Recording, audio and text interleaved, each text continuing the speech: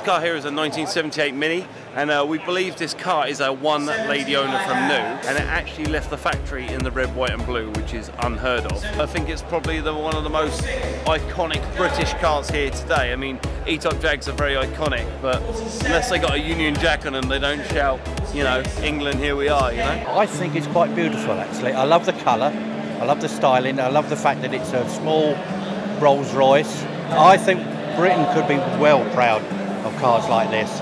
In fact, most of what we see around here today, I think you can be proud of.